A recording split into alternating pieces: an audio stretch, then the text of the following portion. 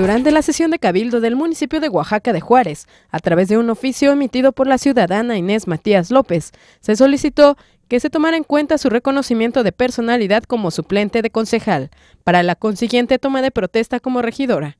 Todo ello ante la licencia que pidió el regidor de Economía Francisco Reyes Cervantes.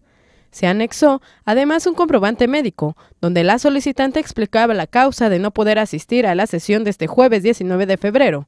Sin embargo, quedó pendiente ante el fallo de los concejales.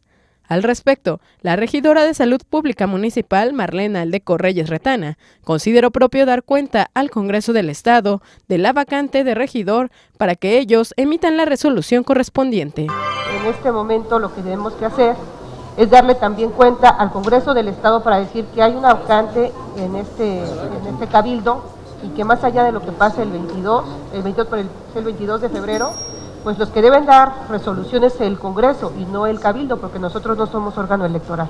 Con imágenes de José Antonio Reyes para MBM Televisión, informó Metzli Beltrán.